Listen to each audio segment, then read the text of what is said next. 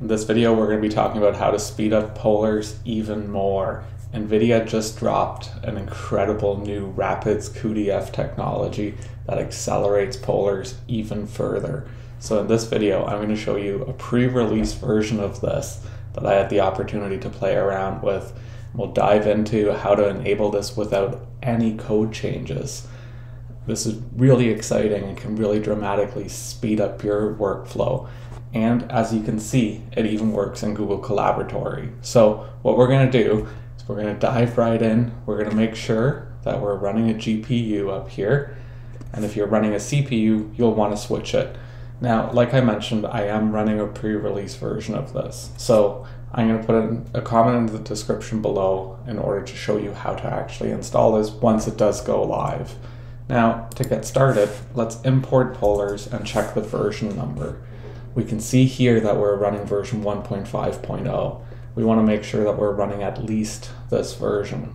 Now, we're going to be using some open data sets from New York City's Taxi Information Service. Now, we're going to be pulling this data directly as Parquet files.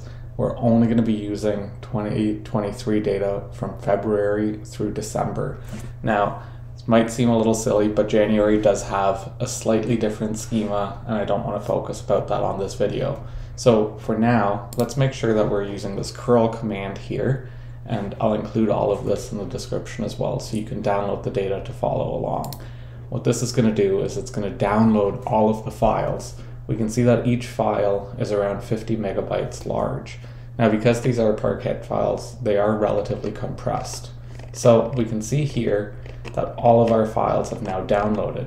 We can make sure that they're all available to us by running the ls command we can see that we have our 11 files listed here. So what we can do now is create a list comprehension here. And what this is going to do is really just list out all of the files. So let's go ahead and make sure that this actually works. What we can see here is that we now have a list of all of the different files available to us. We can scan this into a lazy data frame. So what this will allow us to do is really collect information about that schema and only actually load whatever we need to when we uh, run our analysis. We may want to take a look at the first five records available in our combined data frame. For this, we can use the .head method and combine it with the collect method. So right now, we're just running plain old polars, but what we can see here is that we have a data frame that's pretty wide but also relatively long. Let's take a second to understand all of the different columns available to us. We can see here that we've got 19 different columns. All of them have different data types. Some of them are integers, some of them are date times, some of them are floats. So let's see what we can do with this. We can explore our data frame just a little bit more. Let's get a sense of its full dimensions. For this, we can first collect the data frame load it into memory, and then access the shape. We can see here that our combined data frame has 35 million rows and 19 different columns.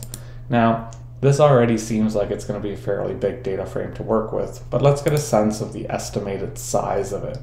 For that, we're going to collect the data frame again and access the estimated size method and print it out in gigabytes we can see here that our data frame is 4.34 gigabytes large.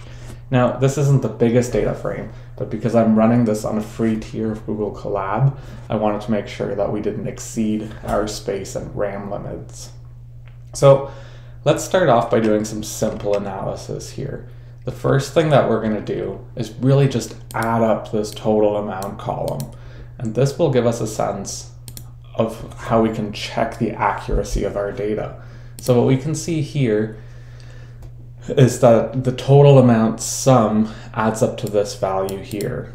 Um, we can time how long this takes on a CPU by running this cell again, just using this uh, percent percent time decorator. So what we're going to see here is that the entire thing took 0.453 seconds.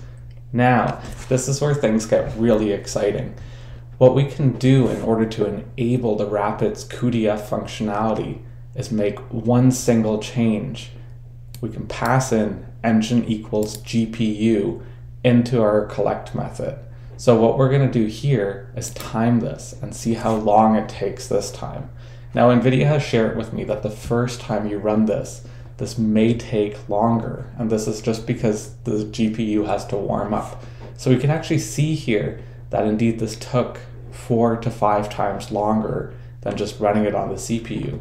But what we can see now is if we rerun this again, that this actually decreased to 25% of its original uh, time taken. So we can already see, just for simple analyses here, massive savings in the amount of time things take.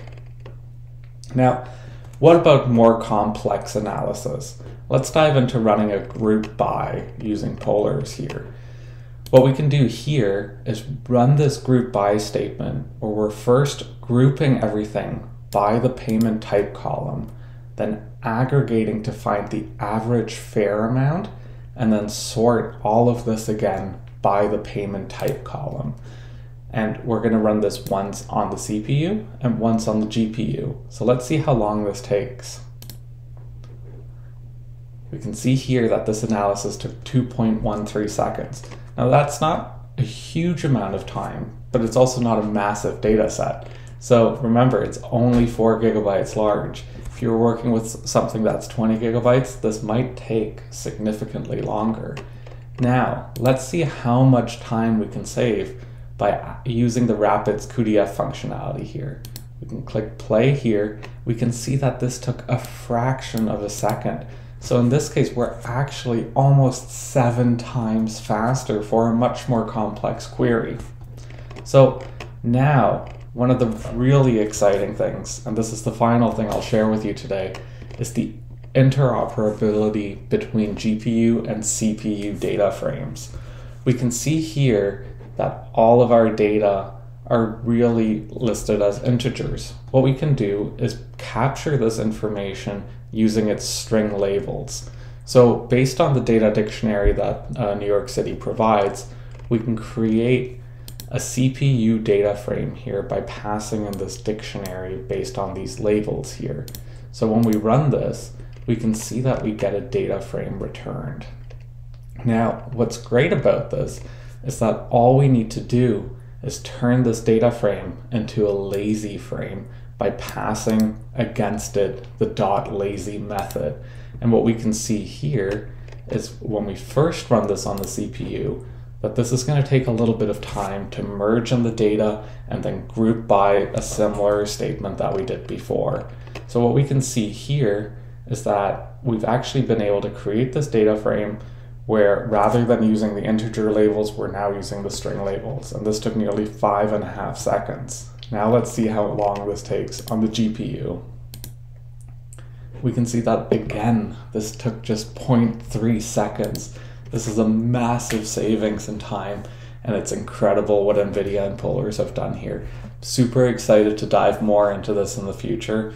Let me know in the comments what you think. I'm really excited to be able to create more content just like this. I'm really curious to hear what you're interested in learning about. Thanks and see you next time.